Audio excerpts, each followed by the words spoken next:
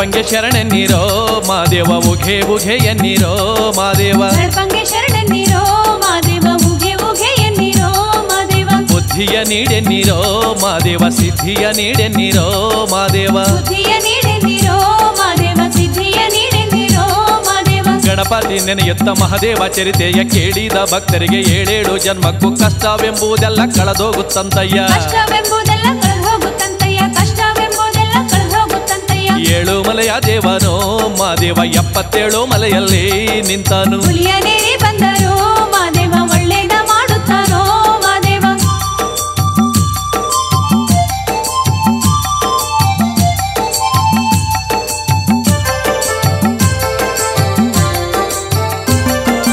ಏಳು ಮಲೆ ಎಪ್ಪತ್ತೇಳು ಮಲೆ ಮಾದೇವ ಕೈಲಾಸದಿಂದ ಭೂಮಿಗೆ ಬಂದತ್ತ ಕಥೆಯನ್ನು ಹೇಳುವೆ ಮನವಿಟ್ಟು ಕೇಳಿ. ಪರಮೇಶ ಪಾರ್ವತಿಯೋ ಮಾದೇವ ಆನಂದದಿ ಇದ್ದರು ಮಾದೇವ ಪರಮೇಶ ಪಾರ್ವತಿಯೋ ಮಾದೇವ ಆನಂದದಿ ಇದ್ದರು ಮಾದೇವ ವಿಷ್ಣುದೇವ ಬ್ರಹ್ಮರೋ ಮಾದೇವ ಕೈಲಾಸಕ್ಕೆ ಬಂದರು ಮಾದೇವ ವಿಷ್ಣುದೇವ ಬ್ರಹ್ಮರು ಮಾದೇವ ಕೈಲಾಸಕ್ಕೆ ಬಂದರು ಮಾದೇವ ಬ್ರಹ್ಮ ವಿಷ್ಣುವಿಗೆ ಆ ಪರಮಾತ್ಮನು ಅವರಿಗೆ ಕೂರಲು ಆಸನ ಕೊಟ್ಟನು ಕೈಲಾಸಕ್ಕೆ ಬಂದಂತ ಕಾರಣ ಕೇಳಿದ. ಕೈಲಾಸಕ್ಕೆ ಬಂದಂತ ತ್ರೇತಾಯುಗದಲ್ಲಿ ಮಾದೇವ ಶಿವಭಕ್ತಿ ಹೆಚ್ಚಿತ್ತು ಎಂದರು. ತ್ರೇತಾಯುಗದಲ್ಲಿ ಮಾದೇವ ಶಿವಭಕ್ತಿ ಹೆಚ್ಚಿತ್ತು ಎಂದರು. ದ್ವಾಪರ ಯುಗದಲ್ಲಿ ಮಾದೇವ ಧರ್ಮವು ಉಳಿದಿತ್ತು ಎಂದರು. ದ್ವಾಪರ ಯುಗದಲ್ಲಿ ಮಾದೇವ ಧರ್ಮವು ಉಳಿದಿತ್ತು ಎಂದರು. ಭೂಲೋಕದಲ್ಲಿ ಕಲಿಗಾಲ ಬಂದಾಯ್ತು ಕಲಿಯುಗದಲ್ಲಿ ಕರ್ಮವು ಹೆಚ್ಚಾಯ್ತು ಕರಮಗಿದು ಕರ್ಪೂರ ಹಚ್ಚೋರಿಲ್ಲದಾಯ್ತು. ಕರ್ಪೂರ ಹಚ್ಚೋರಿಲ್ಲದಾಯ್ತು. ಬ್ರಹ್ಮ ಮಾದೇವ ಹೀಗೆಂದು ಹೇಳಿದರು ಮಾದೇವ.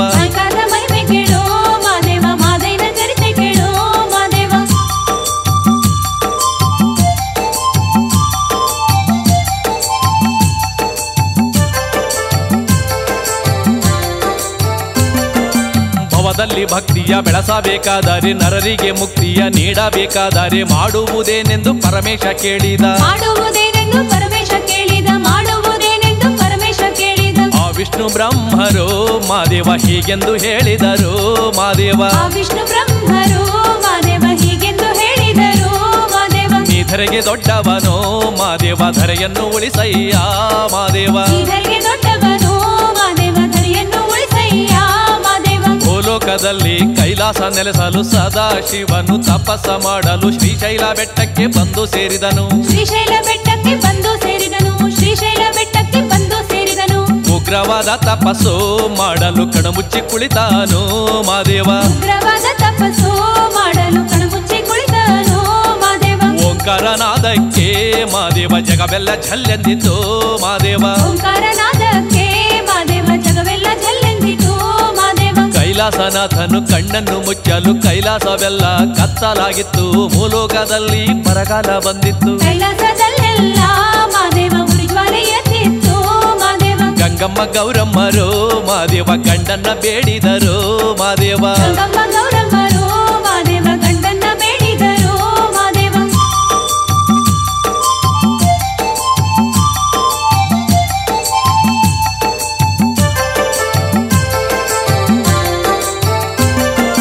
ಓ ನನ್ನ ಶಂಕರನೆ ಓ ನನ್ನ ಈಶ್ವರನೆ ಮೂಲೋಕ ವಾಳುವ ಜಗತ್ ರಕ್ಷಕನೆ ಕಣ್ಣನ್ನು ಬಿಟ್ಟು ನೋಡೋ ನನ್ನೊಡೆಯನೇ. ಕಣ್ಣನ್ನು ಬಿಟ್ಟು ನೋಡೋ ನನ್ನೊಡೆಯನೆ.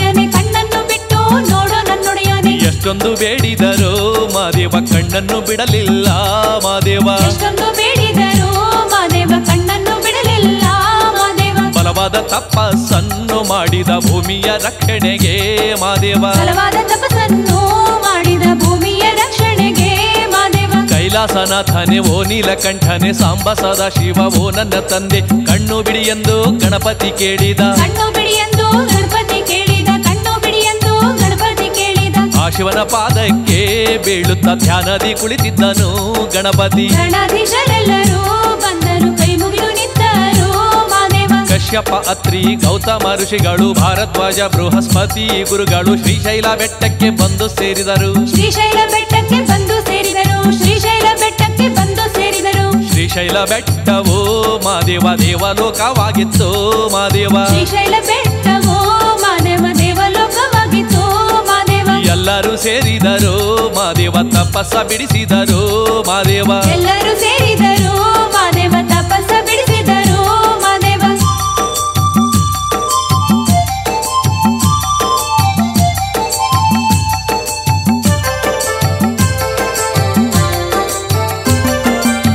ಲೋಕ ಕಲ್ಯಾಣಕ್ಕೆ ತಪಸ್ಸಿಗೆ ಕುಳಿತಿದ್ದೆ. ನನ್ನ ತಪಸ್ಸ ಭಂಗ ಮಾಡಿದಿರೇಕೆ ಎನ್ನುತ್ತ ಕಣ್ಣನು ಬಿಟ್ಟನು ಪರಶಿವ. ಎನ್ನುತ್ತ ಕಣ್ಣನು ಬಿಟ್ಟನು ಪರಶಿವ. ಎನ್ನುತ್ತ ಕಣ್ಣನು ಬಿಟ್ಟನು ಪರಶಿವ. ಶಿವನು ಕಣ್ಣು ಬಿಟ್ಟಾಗ ಶ್ರೀಶೈಲ ಶಶಿಯಂತೆ ಬೆಳಗುತ್ತಿತ್ತೋ ಮಾದೇವ. ತಪಸ್ಸನ್ನು ಮುರಿದಿದ್ದಕ್ಕೆ ಮಾದೇವ ಹೀಗೆಂದು ಕೇಳಿದನು ಮಾದೇವ. ಭೂಲೋಕದಲ್ಲಿ ಭಾರತ ದೇಶವು ಭಾರತವೆಂದರೆ ಧರ್ಮದ ಶಾಸ್ತ್ರವು ಮಾನವ ಧರ್ಮಕ್ಕೆ ಅಲ್ಲಿದೆ ಮಾರ್ಗವು. ಮಾನವ ಧರ್ಮಕ್ಕೆ ಅಲ್ಲಿದೆ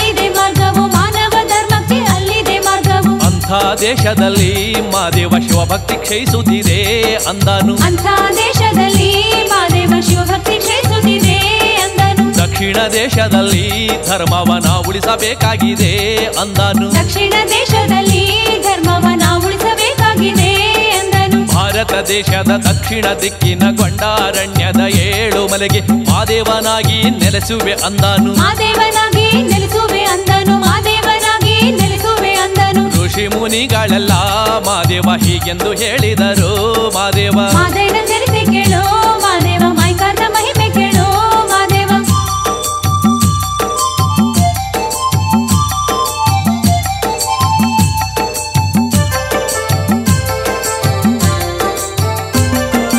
ಮೂಲಕವಾಳುವ ಮುಕ್ಕಣ್ಣನಿಗೆ ಮುನಿಗಳೆಲ್ಲ ಸೇರಿ ಹೀಗೆಂದು ಹೇಳಿದರು. ಕಟ್ಟಿದ ಜಡೆಯನ್ನು ಬಿಚ್ಚಿ ಕೊಡವೆಂದರು ಕಟ್ಟಿದ ಜಡೆಯನ್ನು ಬಿಚ್ಚಿ ಜಟ ಜೂಟ ಜಗದೀಶ ಮಾದೇವ ಜಟೆಯನ್ನು ಕೊಡವಿದನು ಮಾದೇವ. ಜಟ ಜುಟ ಜಗದೀಶ ಮಾದೇವ ಜಟೆಯನ್ನು ಕೊಡವಿದನು ಮಾದೇವ. ಜಗದಲ್ಲಿ ಏಳು ಲಿಂಗ ಮಾದೇವ ಉದ್ಭವವಾಗಿತ್ತಂತೋ ಮಾದೇವ. ಜಗದಲ್ಲಿ ಏಳು ಲಿಂಗ ಮಾದೇವ ಉದ್ಭವವಾಗಿತ್ತಂತೋ ಮಾದೇವ. ಕಾಶಿಯಲ್ಲಿ ವಿಶ್ವನಾಥನು ಕೇದಾರದಲ್ಲಿ ಕೇದಾರನಾಥನು ಶ್ರೀಶೈಲದಲ್ಲಿ ಮಲ್ಲಿನಾಥನು. ಶ್ರೀಶೈಲದಲ್ಲಿ ಮಲ್ಲಿನಾಥನು.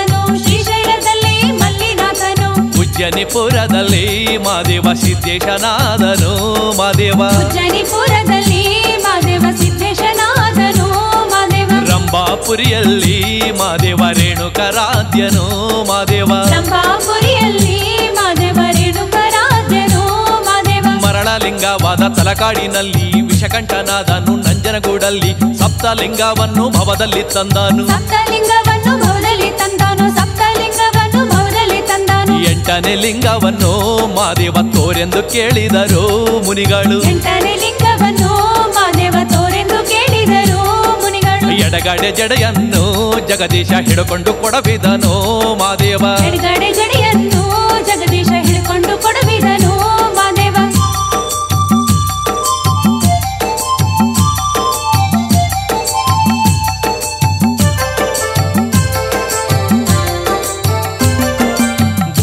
ಭೂಮಿಯಿಂದ ಮಾನಿನವರೆಗೆ ಉದ್ದಕ್ಕೂ ಬಂದು ಲಿಂಗವು ನಿಂತಿತ್ತು. ಈ ಲಿಂಗವ್ಯಾವುದೆಂದು ಕೇಳಿದರು ಮುನಿಗಳು. ಈ ಲಿಂಗವ್ಯಾವುದೆಂದು ಕೇಳಿದರು ಮುನಿಗಳು. ರಾಕ್ಷಸನವತಾರ ಇವನು ಶ್ರವಣಾಸುರನೆಂದನು ಮಾದೇವ ರಾಕ್ಷಸನವತಾರ ಇವನು ಶ್ರವಣಾಸುರನೆಂದನು ಮಾದೇವ ಒಂಬತ್ತನೇ ಅವತಾರ ಮಾದೇವ ತೋರೆಂದು ಕೇಳಿದರು ಮುನಿಗಳು. ಒಂಬತ್ತನೇ ಜಗವನ್ನು ಕಾಯುವ ಆ ಜಗದೀಶನು ಜಡೆಯನ್ನು ಜಗದಗಲ ಹರಡಿ ಕೊಡಬೀದ. ಜಂಗಮಲಿಂಗವು ಇಳೆಯಲ್ಲಿ ಇಳಿಯಿತು. ಜಂಗಮಲಿಂಗವು ಇಳಿಯಲ್ಲಿ ಇಳಿಯಿತು. ಜಂಗಮಲಿಂಗವು ಇಳಿಯಲ್ಲಿ ಇಳಿಯಿತು. ಯಾರ್ಯಾರ ಕಣ್ಣಿಗೂ ಕಾಣದೆ ಲಿಂಗವು ಮಾಯವಾಯಿತೋ ಮಾದೇವ. ಯಾರ್ಯಾರ ಕಣ್ಣಿಗೂ ಕಾಣದೆ ಲಿಂಗವು ಮಾಯವಾಯಿತೋ ಮಾದೇವ. ದುಷ್ಟರ ಶಿಕ್ಷಿಸಲು ಮಾದೇವ ಮಾಯ್ಕಾರ ಲಿಂಗವಿದೋ ಮಾದೇವ. ದುಷ್ಟರ ಶಿಕ್ಷಿಸಲು ಎಂಟನೇ ಅವತಾರ ಶ್ರವಣಾಸುರನೆಂಬ ರಾಕ್ಷಸನಾಗಿ ಭೂಮಿಗೆ ಬಂದರೆ ಒಂಬತ್ತನೇ ಅವತಾರ ಮೈಕಾರ ಮಾದೇವ ಒಂಬತ್ತನೇ ಅವತಾರ ಮೈಕಾರ ಮಾದೇವ ಒಂಬತ್ತನೇ ಅವತಾರ ಮೈಕಾರ ಮಾದೇವ ಧರೆಯಲ್ಲಿ ದೊಡ್ಡವನೋ ಮಾದೇವ ಉದ್ಧಾರ ಮಾಡುವನೋ ಮಾದೇವ. ದೊಡ್ಡವನು ಮಾದೇವ ಉದ್ಧಾರ ಮಾಡುವನು ಮಾದೇವ. ಮಾದೇವನ ಚರಿತೆ ಕೇಳು ಮಾದೇವ ಮೈಕಾರ್ನ ಮಹಿಮೆ ಕೇಳು ಮಾದೇವ. ಮಾದೇವನ ಚರಿತೆ ಕೇಳು ಮಾದೇವ ಮೈಕಾರ್ನ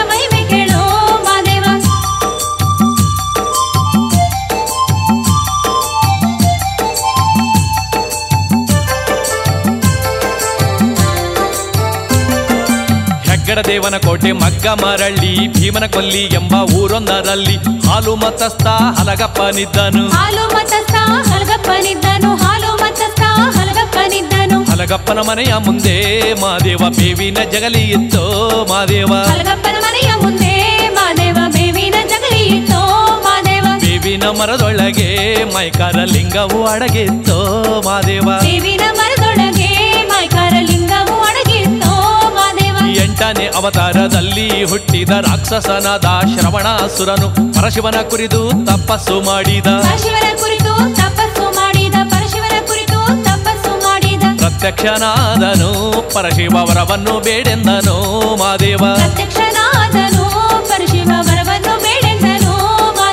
ಆ ದುಷ್ಟ ಶ್ರವಣಾಸುರ ಮಾದೇವ ಹೀಗೆಂದು ಬೇಡಿದನು ಮಾದೇವ.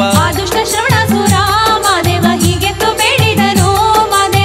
ಓಂಕಾರ ಮೂರ್ತಿಯೇ ಓ ನನ್ನ ತಂದೆಯೇ ಭವದಲ್ಲಿ ಭಕ್ತಿಯ ನಾ ಬಿತ್ತಿ ಬರುವೆ. ಬ್ರಹ್ಮಾಂಡದ ಅಧಿಕಾರ ಕರುಣಿಸು ಎಂದನು. ಆಗಲಿ ಎಂದಾನು ಪರಶಿವ ವರವನ್ನು ನೀಡಿದನು ಮಾದೇವ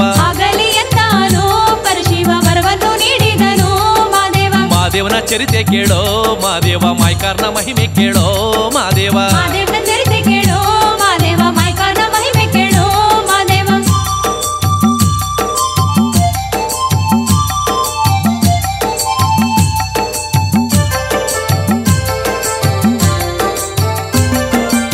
ರಾಕ್ಷಸನಾದ ಶ್ರವಣಾಸುರನು ದಕ್ಷಿಣದಲ್ಲಿ ಪಟ್ಟಣ ಕಟ್ಟಿದ ದೇವಾನು ದೇವತೆಯ ಹಿಡಿದು ತಂದಾನು. ದೇವಾನು ದೇವತೆಯ ಹಿಡಿದು ತಂದಾನು ದೇವಾನು ದೇವತೆಯ ಹಿಡಿದು ತಂದಾನು. ಧರೆಯಲ್ಲಿ ನಾ ದೊಡ್ಡವ ಎನ್ನುತ್ತ ಮೆರೆಯುತ್ತಲಿದ್ದಾನು ಶ್ರವಣನು.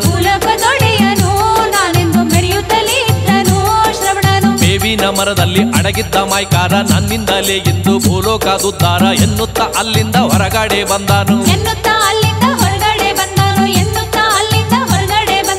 ಬಂದಾನು ಹಲಗಪ್ಪನ ಮನೆಯಲ್ಲಿ ಮಾದೇವ ಹುತ್ತವನ್ನೇ ಬೆಳೆಸಿದ ಮಾದೇವ. ಹಲಗಪ್ಪನ ಮನೆಯಲ್ಲಿ ಮಾದೇವ ಹುತ್ತವನ್ನೇ ಬೆಳೆಸಿದ ಮಾದೇವ. ಹನ್ನೆರಡು ಕಂಬ ದಟ್ಟಿ ಮಾದೇವ ಹಲಗಪ್ಪನ ಮನೆಯೋ ಮಾದೇವ. ಹನ್ನೆರಡು ಕಂಬ ದಟ್ಟಿ ಮಾದೇವ ಹಲಗಪ್ಪನ ಮನೆಯು ಮಾದೇವ. ತಾತ ಮುತ್ತಾತನ ಕಾಲದ ಮನೆಯದು ನಡುಮನೆಯಲ್ಲಿ ಹುತ್ತವು ಬೆಳೆಯಿತು ಮತ್ತಾವ ಕುತ್ತು ಬಂದಿತು ಎಂದರು. ಬಂದಿತು ಎಂದರು ಹಲಗಪ್ಪನ ಸತಿಯೋ ಮುದ್ದಮ್ಮ ಚಿಂತೆಗೆ ಬಿದ್ದಾಳೋ ಮಾದೇವ ಹಲಗಪ್ಪನ ಸತಿಯು ಮುದ್ದಮ್ಮ ಚಿಂತೆಗೆ ಬಿದ್ದಾಳೋ ಮಾದೇವ ಮಾದೇವನ ಚರಿತೆ ಕೇಳೋ ಮಾದೇವ ಮಾಯ್ಕಾರ್ನ ಮಹಿಮೆ ಕೇಳೋ ಮಾದೇವ ಮಾದೇವನ ಚರಿತೆ ಕೇಳೋ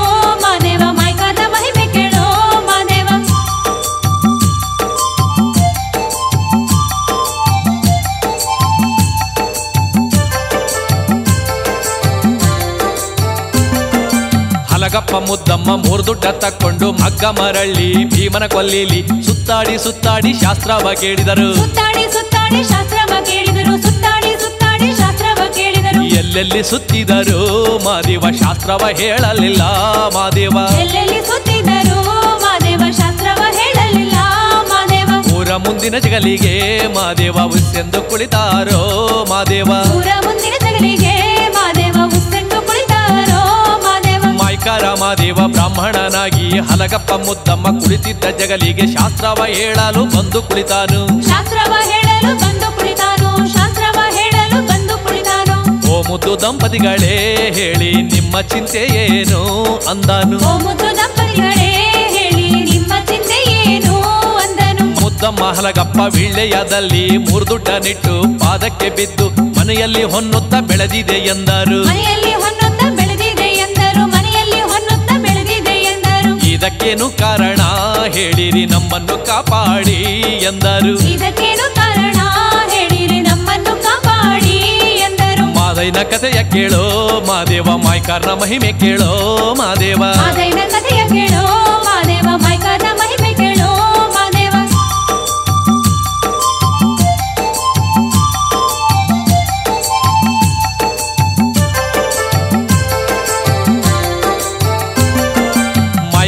ಮಾಯ್ಕಾರ ಮಾದೇವ ಪಂಚಾಂಗ ತೆಗೆಯುತ್ತ ಪೂಜೆಯ ಮಾಡುತ್ತ ಹೀಗೆಂದು ಹೇಳಿದ ಅಯ್ಯ ದಂಪತಿಗಳೇ ಹೆಸರೇಳಿ ಅಂದಾನು. ಅಯ್ಯ ದಂಪತಿಗಳೇ ಹೆಸರೇಳಿ ಅಂದಾನು. ಅಯ್ಯ ದಂಪತಿಗಳೇ ಹೆಸರೇಳಿ ಅಂದಾನು. ಮುದ್ದ ಮುದ್ದಮ್ಮ ಹಲಗಪ್ಪ ಮಾದೇವ ಹೆಸರನ್ನು ಹೇಳಿದರು ಮಾದೇವ ಮುದ್ದಮ್ಮ ಹಲಗಪ್ಪ ಮಾದೇವ ಹೆಸರನ್ನು ಹೇಳಿದರು ಮಾದೇವ ಕವಡೆಯ ಹಾಕುತ್ತಲೀ ಮಾದೇವ ಹೀಗೆಂದು ಹೇಳಿದರು ಮಾದೇವ ಕವಡೆಯ ಸತ್ಯವಂತರೇ ಓ ಶಿವ ಭಕ್ತರೆ ನಿಮ್ಮ ಮನೆಯಲ್ಲಿ ಅಪಶಕುನವಾಗಿಲ್ಲ ಒಳ್ಳೆಯದಕ್ಕಾಗಿ ಹೊನ್ನುತ್ತಾ ಬೆಳೆದೈತೆ. ಒಳ್ಳೆಯದಕ್ಕಾಗಿ ಹೊನ್ನುತ್ತ ಬೆಳೆದೈತೆ ಒಳ್ಳೆಯದಕ್ಕಾಗಿ ಹೊನ್ನುತ್ತ ಬೆಳೆದೈತೆ. ಮಾಯ್ಕಾರ ಮಾದೇವನು ಮನೆಯಲ್ಲಿ ಉದ್ಭವವಾಗಿರುವನು ಅಂದನು. ಮಾಯ್ಕಾರ ಮಾದೇವನು ಮನೆಯಲ್ಲಿ ಉದ್ಭವವಾಗಿರುವನು ಅಂದನು. ಅವನಿಗೆ ಪೂಜೆ ಮಾಡಿ ಮಾದೇವ ನೀವು ಮನೆ ಬಿಡಬೇಕು ಅಂದನು. ಅವನಿಗೆ ಕಟ್ಟಿದ ಮುತ್ತಂತ ಮನೆ ಇದು ಹತ್ತಾಳ ಕರೆಸುವೆ ಹುತ್ತವ ಹೊಡೆಸುವೆ ಮನೆಯನ್ನು ಮಾತ್ರ ಬಿಡಲಾರೆ ಅಂದಾರು. ಮನೆಯನ್ನು ಮಾತ್ರ ಬಿಡಲಾರೆ ಅಂದರು ಮನೆಯನ್ನು ಮಾತ್ರ ಬಿಡಲಾರೆ ಅಂದರು. ಮನೆಯನ್ನು ಬಿಟ್ಟಾರೆ ನನ್ನ ಮಗ ಪರದೇಶಿಯಾಗುವನು ಅಂದಾರು. ಮಾಯ್ಕರ್ನ ಮಹಿಮೆ ಕೇಳೋ ಮಾದೈನ ಕಥೆಯ ಕೇಳೋ ನೀನು ಮಾದೇವ. ಮಹಿಮೆ ಕೇಳೋ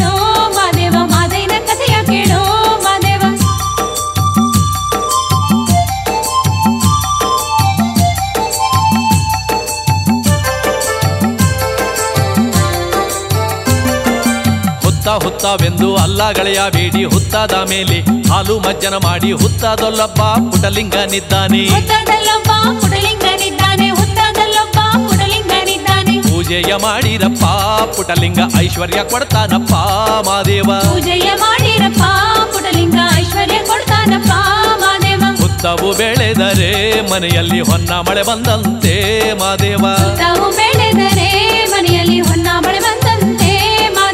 ಮಾದೇವ ಮಹಲಗಪ್ಪ ಹಲಗಪ್ಪ ಆಗಲಿ ಎನ್ನುತ್ತ ಹುತ್ತದ ಪೂಜೆ. ಭಕ್ತಿಲಿ ಮಾಡುತ್ತ ಹುತ್ತಕ್ಕೆ ಹಾಲಿನ ಮಜ್ಜನ ಮಾಡಿದರು. ಹುತ್ತಕ್ಕೆ ಹಾಲಿನ ಮಜ್ಜನ ಮಾಡಿದರು. ಹುತ್ತಕ್ಕೆ ಹಾಲಿನ ಮಜ್ಜನ ಮಾಡಿದರು. ಮನೆಯನ್ನು ಬಿಟ್ಟಾರೋ ಮಾದೇವ ಹಿತ್ತಲಿಗೋದಾರೋ ಮಾದೇವ. ಮನೆಯನ್ನು ಬಿಟ್ಟಾರೋ ಮಾದೇವ ಹಿತ್ತಲಿಗೆ ಹೋದಾರೋ ಮಾದೇವ. ಮನೆಯ ಹಿಂದೆಯೇ ಒಂದು ಚೋಪಡಿ ಹಾಕಿದರೋ ಮಾದೇವ. ಮನೆಯ ಹಿಂದೆಯೇ ಒಂದು ಚೋಪಡಿ ಹಾಕಿದರು ಮಾದೇವ ಮೈಕಾರ ಮಾದೇವ ಮಹಿಮೆಯ ತೋರಲು ಸುತ್ತ ಮೂರಳ್ಳಿಗೆ ಬರಗಾಲ ಕೊಟ್ಟು ಹಲಗಪ್ಪನಿಗೆ ಐಶ್ವರ್ಯ ಕೊಟ್ಟನು. ಹಲಗಪ್ಪನಿಗೆ ಐಶ್ವರ್ಯ ಕೊಟ್ಟನು. ಹಲಗಪ್ಪನಿಗೆ ಐಶ್ವರ್ಯ ಕೊಟ್ಟನು. ಮಳೆಯಿಲ್ಲ ಬೆಳೆಯಿಲ್ಲ ಮಾದೇವ ಗಂಜಿಗೂ ಗತಿಯಿಲ್ಲ ಮಾದೇವ. ಮಳೆಯಿಲ್ಲ ಬೆಳೆಯಿಲ್ಲ ಮಾದೇವ ಗಂಜಿಗೂ ಗತಿಯಿಲ್ಲ ಮಾದೇವ. ಮಾದೇವನ ಕಥೆಯ ಕೇಳೋ ಮಾದೇವ ಮಾಯ್ಕಾರ್ನ ಮಹಿಮೆ ಕೇಳೋ ಮಾದೇವ. ಮಾದೇವನ ಕಥೆಯ ಕೇಳೋ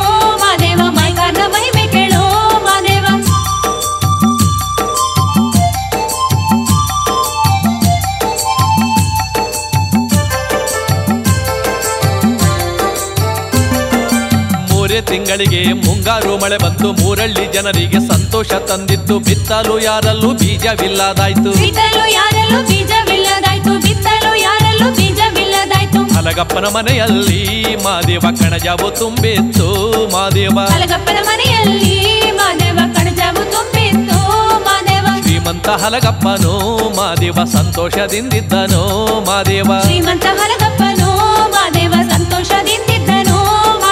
ಮೂರಳ್ಳಿ ರೈತರು ಒಟ್ಟಾಗಿ ಸೇರಿದರು. ಮಗ್ಗ ಮರಳ್ಳಿಗೆ ಓಡೋಡಿ ಬಂದರು. ಹಲಗಪ್ಪನಲ್ಲಿ ಬೀಜವ ಕೇಳಿದರು. ಹಲಗಪ್ಪನಲ್ಲಿ ಬೀಜವ ಕೇಳಿದರು. ಹಲಗಪ್ಪನಲ್ಲಿ ಬೀಜವ ಕೇಳಿದರು. ನಾಕ್ಸೇರರಾಗಿ ಕೊಡು. ಸಾವುಕಾರ ಬಿತ್ತಲು ಬೀಜವಿಲ್ಲ ಅಂದರು. ನಾಕ್ಷರರಾಗಿ ಕೊಡು.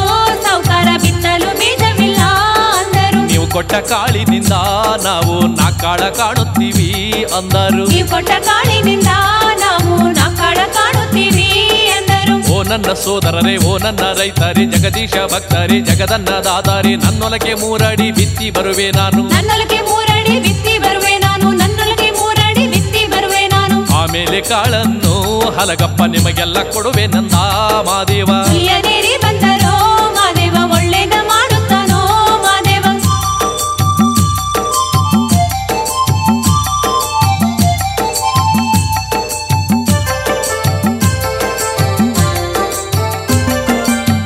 ಕೆಬ್ಬೆ ಹೊಲಗೆ ಹಲಗಪ್ಪ ಹೋದನು ತ್ಯವರಿಯ ಮೇಲೆ ಕಾಳನ್ನು ಇಟ್ಟನು ಮಗನಿಗೆ ಹೇರನ್ನು ಕಟ್ಟಪ್ಪ ಎಂದಾನು. ಮಗನಿಗೆ ಹೇರನ್ನು ಕಟ್ಟಪ್ಪ ಎಂದನು ಮಗನಿಗೆ ಹೇರನ್ನು ಕಟ್ಟಪ್ಪ ಎಂದನು. ಹೇರನ್ನು ಕಟ್ಟಿದನು ಹಲಗಪ್ಪ ಸಾಲನ್ನು ಹೊಡೆಸಿದನು ಮಾದೇವ. ಹೇರನ್ನು ಕಟ್ಟಿದನು ಹಲಗಪ್ಪ ಸಾಲನ್ನು ಹೊಡೆಸಿದನು ಕಟ್ಟಿದನು ಹಲಗಪ್ಪ ರಾಗಿಯ ಬಿತ್ತಲೆಂದು ಮಾದೇವ. ಗುಡಿಯನ್ನು ಕಟ್ಟಿದನು ಹಲಗಪ್ಪ ರಾಗಿಯ ಬಿತ್ತಲೆಂದು ಮಾದೇವ ಎಲ್ಲೆಲ್ಲಿ ಹಲಗಪ್ಪ ಹೆಜ್ಜೆ ಇಟ್ಟನು ಅಲ್ಲಲ್ಲಿ ಶಿವಲಿಂಗ ಹುಟ್ಟಿಕೊಂಡಿತು. ಕಲ್ಲಲ್ಲಿ ಕಲ್ಲಲ್ಲಿ ಶಿವಲಿಂಗ ಕಂಡಿತು. ಕಲ್ಲಲ್ಲಿ ಕಲ್ಲಲ್ಲಿ ಶಿವಲಿಂಗ ಕಂಡಿತು. ಕಲ್ಲಲ್ಲಿ ಕಲ್ಲಲ್ಲಿ ಶಿವಲಿಂಗ ಕಂಡಿತು. ತಾ ಮಾಡಿದ ತಪ್ಪಿನ ಅರಿವು ಹಲಗಪ್ಪನಿಗಾಗಿತ್ತು ಮಾದೇವ.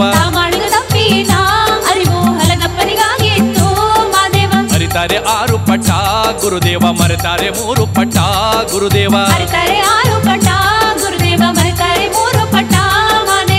ಊರಲ್ಲಿ ರೈತರು ಉಪವಾಸ ಕುಂತವರೇ ಬಿತ್ತನೆ ಬೀಜವ ಬೇಡಲು ಬಂದವರೇ ಬೀಜವ ಹಂಚದೆ ಬಿಟ್ಟು ಬಂದೆ ನಾನು ಬೀಜವ ಹಂಚದೆ ಬಿಟ್ಟು ಬಂದೆ ನಾನು ಬೀಜವ ಹಂಚದೆ ಬಿಟ್ಟು ಬಂದೆ ನಾನು ನನ್ನ ಮಂಕುತನಕ್ಕೆ ಮಾದೇವ ಮದ್ದನ್ನು ನೀಡಿದನು ಮಾದೇವ ಆಯ್ಕಾನ ಮಹಿಮೆ ಕೇಳೋ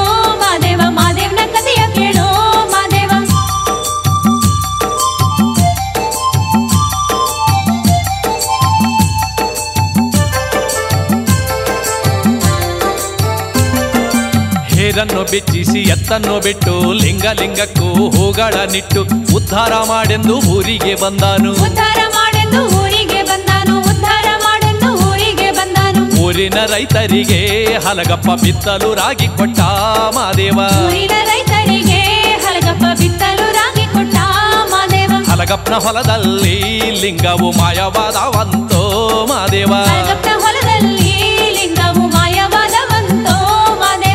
ಮಾದೇವ ಮಾಯ್ಕಾರ ಹಲಗಪ್ಪನಿಗೆ ಕನಸಲ್ಲಿ ಬಂದಾನು. ಹೀಗೆಂದು ನುಡಿದಾನು ಹಲಗಪ್ಪ ನೀನು ಹರನ ಭಕ್ತಾನು. ಹಲಗಪ್ಪ ನೀನು ಹರನ ಭಕ್ತನು ಹಲಗಪ್ಪ ನೀನು ಹರನ ಭಕ್ತನು.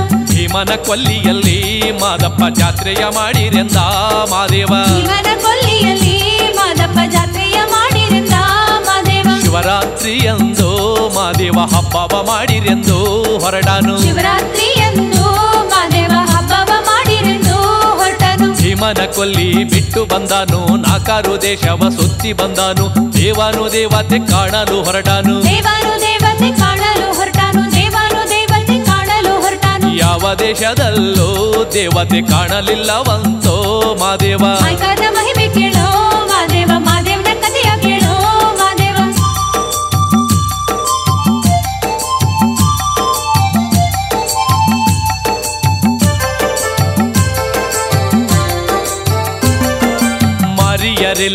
ಮಸಣಿಯರಿಲ್ಲ ದುರ್ಗಿ ಚಾಮುಂಡಿ ಯಾರ್ಯಾರು ಇಲ್ಲ.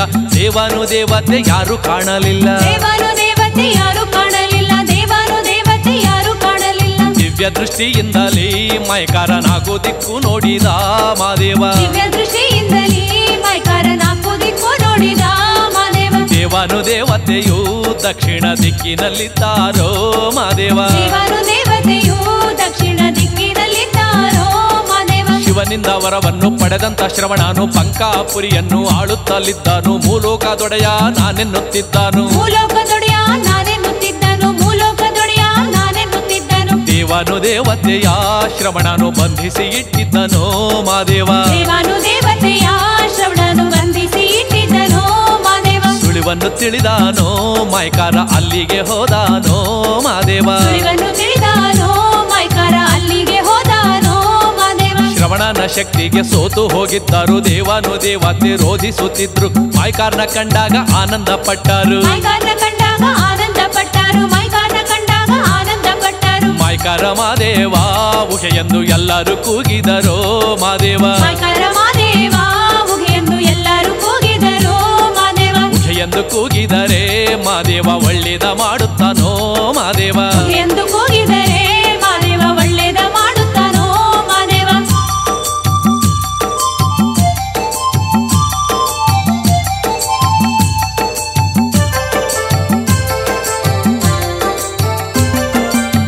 ಉತ್ತರ ದೇಶದ ಮೈಕಾರ ಬಂದ ಉತ್ತಮರನ್ನು ಉಳಿಸಲು ಬಂದ ಮುರುಗಾಧೀಶನ ಕಂದನು ಬಂದ. ಮುರುಘಾಧೀಶನ ಕಂದನು ಬಂದ ಮುರುಘಾಧೀಶನ ಕಂದನು ಬಂದ.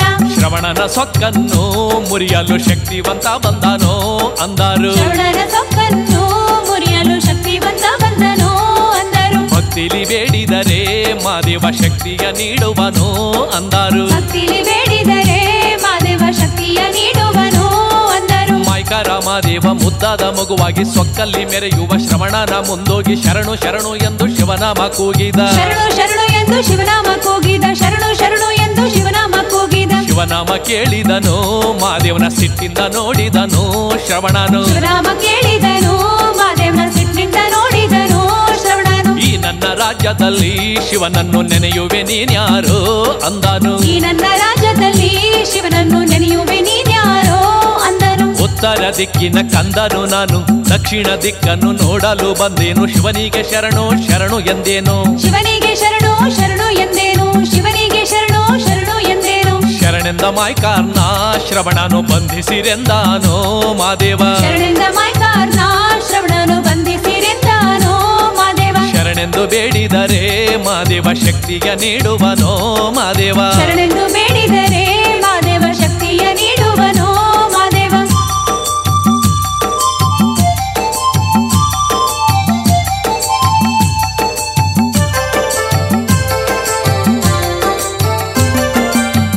ಶರಣೆಂದ ಕಂದನ ಶ್ರವಣನ ದೂತರು ಬಂಧಿಸ ಬಂದಾಗ ಈ ನಮ್ಮ ಮಾದೇವ ಹೆಜ್ಜೆ ಹೆಜ್ಜೆಗೂ ಮಾಯವಾಗುತ್ತಿದ್ದ. ಹೆಜ್ಜೆ ಹೆಜ್ಜೆಗೂ ಮಾಯವಾಗುತ್ತಿದ್ದ. ಹೆಜ್ಜೆ ಹೆಜ್ಜೆಗೂ ಮಾಯವಾಗುತ್ತಿದ್ದ. ಹಿಡಿಯುವ ದೂತರೆಲ್ಲ ಮಾದೇವ ಶಿವ ಶಿವ ಎಂದಾರೋ ಮಾದೇವ ಹಿಡಿಯುವ ದೂತರೆಲ್ಲ ಮಾದೇವ ಶಿವ ಶಿವ ಎಂದಾರೋ ಮಾದೇವ ಶರಣು ಶರಣು ಎಂದು ದೂತರು ಶ್ರವಣನ ಕೂಗಿದರು ಮಾದೇವ ಶರಣು ಶರಣು ಎಂದು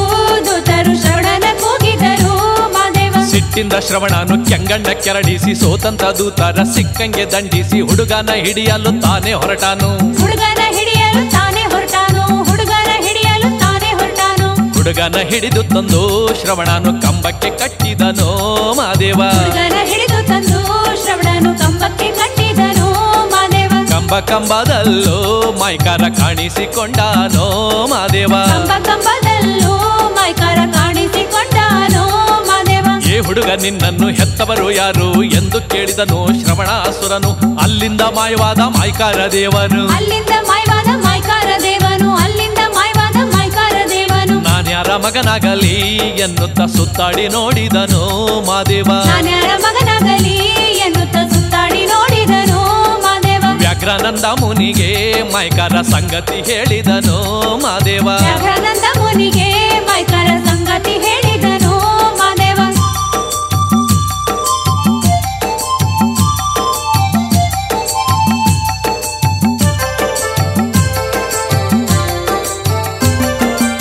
ಉತ್ತರಾಜಮ್ಮ ಶಿವದಾಸರೆಂಬ ದಂಪತಿಗಳಿಬ್ಬರು ಮಕ್ಕಳಿಲ್ಲವೆಂದು ಶಿವನನ್ನು ನೆನೆಯುತ್ತ ರೋಧಿಸುತ್ತಿದ್ದರು. ಶಿವನನ್ನು ನೆನೆಯುತ್ತ ರೋಧಿಸುತ್ತಿದ್ದರು. ಶಿವನನ್ನು ನೆನೆಯುತ್ತ ರೋಧಿಸುತ್ತಿದ್ದರು. ವ್ಯಾಘ್ರಾನಂದ ಗುರುಗಳು ಬಂದರು ಏನೆಂದು ಕೇಳಿದರೋ ಮಾದೇವ ವ್ಯಾಘ್ರಾನಂದ ಗುರುಗಳು ಬಂದರು ಏನೆಂದು ಕೇಳಿದರೋ ಮಾದೇವ ಸತ್ಯಪತಿಗಿಬ್ಬರು ಮಾದೇವ ಸಂತಾನ ಬೇಡಿದರೋ ಮಾದೇವ ಸತಿಪತಿ ಮಾದೇವ ಶಿವದಾಸನು ನನ್ನ ಸದಿಯಾದ ಉತ್ತರಾಜಮ್ಮನಿಗೆ ಮಕ್ಕಳಿಲ್ಲವೆಂದು ವ್ಯಾಘ್ರರ ಪಾದಕ್ಕೆ ಬಿದ್ದು ಬೇಡಿದನು. ವ್ಯಾಘ್ರರ ಪಾದಕ್ಕೆ ಬಿದ್ದು ಬೇಡಿದನು ವ್ಯಾಘ್ರರ ಪಾದಕ್ಕೆ ಬಿದ್ದು ಬೇಡಿದನು. ವ್ಯಾಘ್ರಾನಂದ ಮುನಿಯೋ ಮಾದೇವ ಹೀಗೆಂದು ಹೇಳಿದರೋ ಮಾದೇವ. ವ್ಯಾಘ್ರನಂದ ಮುನಿಯೋ ಮಾದೇವ ಹೀಗೆಂದು ಹೇಳಿದರು ಮಾದೇವ. ನಿಮಗೊಂದು ಮಗು ಸಿಕ್ಕರೆ ನೀವು ಮಠದಲ್ಲಿ ಮರಿಬಿಡುವಿರಾ ಎಂದರು. ನಿಮಗೊಂದು ಮಗು ಸಿಕ್ಕರೆ ನೀವು ಉತ್ತರ ದಿಕ್ಕಿಗೆ ಉತ್ತರಾಜಮ್ಮನು ಕೈಲಾಸವಾಸನ ಕೇಳಿಕೊಂಡಾರೆ. ಕೈಗೊಂದು ಕೂಸನ್ನು ಕೊಡ್ತಾನೆ ಎಂದರು. ಕೈಗೊಂದು ಕೂಸನ್ನು ಕೊಡ್ತಾನೆ ಎಂದರು. ಕೈಗೊಂದು ಕೂಸನ್ನು ಕೊಡ್ತಾನೆ ಎಂದರು. ವ್ಯಾಘ್ರಾನಂದ ಮುನಿಯೋ ಮಾದೇವ ಅಲ್ಲಿಂದ ಮಾಯವಾದ ಮಾದೇವ. ವ್ಯಾಘ್ರಾನಂದ ಮುನಿಯೋ ಮಾದೇವ ಅಲ್ಲಿಂದ ಮಾಯಾವಾದ ಮಾದೇವ. ಮಾಲಂಗಿ ಮಡುವಲ್ಲಿ ಮಾದೇವ ಮಲಗವನೇ ನೋಡಮ್ಮ ಮಾದೇವ. ಮಾಲಂಗಿ ಮಡುವಲ್ಲಿ